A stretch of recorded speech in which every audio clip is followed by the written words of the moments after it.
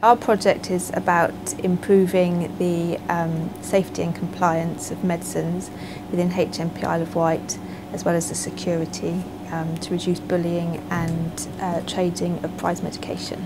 The Unidose machine is an automated dispensing system that produces a patient's medication in around 30 seconds and has all of the patient's details and medication information printed onto the bag. So it eliminates dispensing errors and it makes the medication easier to check for, for the person checking it once it's been dispensed. And it saved us dispensing time as well. I mean, before we had the Unidose machine, it was taking the equivalent of one person to, to dispense these drugs every week, a whole week. And now we've got that down to two days a week. The second aspect of this project was improving the safety and security of medicines and the patients taking them at HMP Isle of Wight.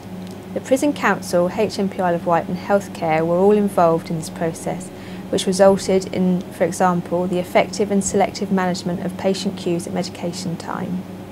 We are really pleased with the outcome of this project. It has led to a decrease in the prescribing of prize medication, freed up time for pharmacy staff to work with other professionals and improved security around abusable medicines.